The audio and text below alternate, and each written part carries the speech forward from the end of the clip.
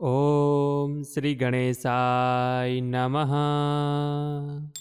તો મિત્રો, સ્વાગત છે આપનું આપણી યુટ્યુબ ચેનલ ભક્તિ કીર્તન સંગ્રહમાં. તો મિત્રો સૌ પ્રથમ આપ સૌ લોકોને આ ભાઈબીજ તહેવારની અમારી ચેનલ તરફથી ખૂબ ખૂબ શુભકામનાઓ. તો મિત્રો, આપ સૌ લોકોને એક નમ્ર વિનંતી છે કે હવે આ કથા ધ્યાનપૂર્વક સાંભળજો. અને જો આપના વીડિયો પસંદ આવે, તો કમેન્ટ સેક્શનમાં જરૂરથી જય શ્રી યમુનાજી, અવશ્ય લખજો. યમદિત્યામ યહ પ્રાપ્ય ભગિની ગ્રહ ભોજમ. ન કુર્યાદ્વસર્જમ પુણ્યમ નશ્યતી રવે હે શ્રુતમ. તો મિત્રો, યમ અને યમી ભાઈ બહેન હતા. એટલે કે યમનાજી અને યમરાજ એ ભાઈ બહેન હતા. યમી એટલે કે યમુના નદી. યમી તો રોજ પોતાના ભાઈને પોતાને ત્યાં જમવા આવવા નોતરું આપે. પણ યમરાજને ઘડીને ફુરસદ નથી. કોઈનો ન્યાય તોડવો, કોઈને સજા કરવી વગેરે પ્રવૃત્તિમાંથી જ નવરા ન થાય.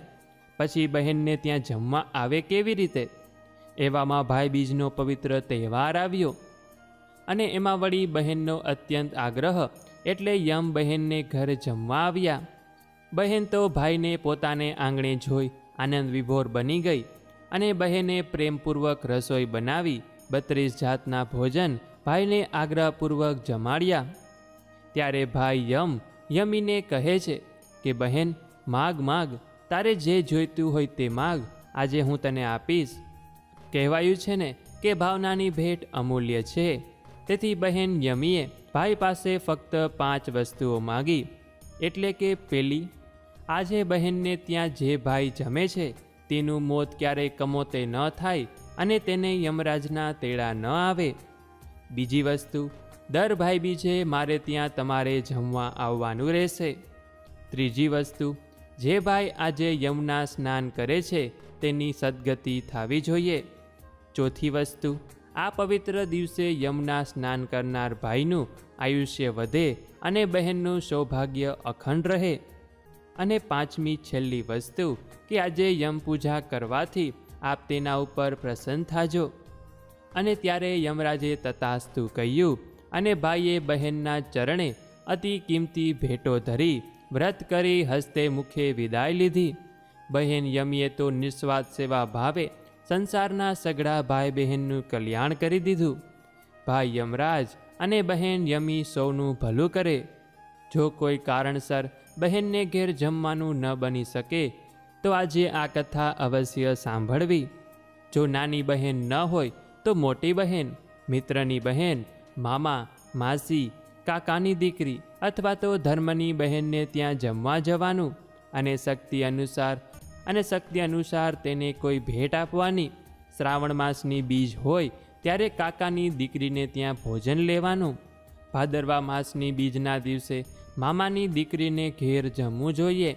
આસો માસની બીજના દિવસે માસી અથવા ફોઈની દીકરીનું આમંત્રણ સ્વીકારવું અને કારતક સુદ બીજ એટલે કે આ ભાઈબીજના દિવસે પોતાની સગી બહેનના ઘરે ભોજન લેવાનું કે જે કરવાથી તે ભાઈને ધન યશની પ્રાપ્તિ થાય છે.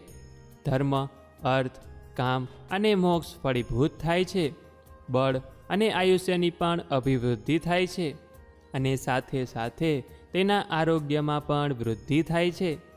અને તેમ છતાં પણ કોઈ કારણોસર ભાઈબીજના દિવસે આપ બહેનના ઘરે જમી શકો તેમ ન હોય, તો આ વ્રતકથાનું શ્રવણ કે પઠન કરવાનું કે જે બહેનને ત્યાં ભોજન કર્યા બરાબર ફળ પ્રાપ્ત થાય છે. અને તેના પુણ્યનો કદી ક્ષય થતો નથી અને તેને લાંબા આયુષ્યની પ્રાપ્તિ થાય છે.